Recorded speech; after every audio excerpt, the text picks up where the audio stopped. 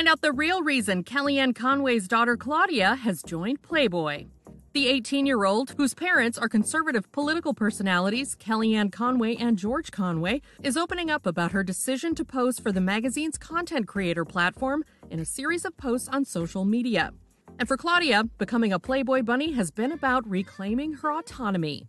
She says on Twitter, When I was 15 to 16, I was exploited by the media, preyed upon, and was forced into portraying myself as something I wasn't. My body was taken from me.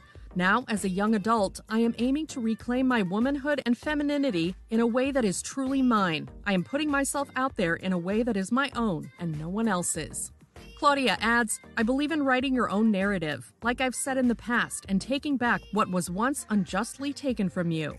The influencer also advocates for others to find their quote autonomy and freedom and pushes them to reclaim their vulnerabilities rather than let them be exploited. And this isn't the first time the teen has sought to make a name for herself. Before diving into the world of Playboy, Claudia showcased her vocal prowess on the American Idol stage.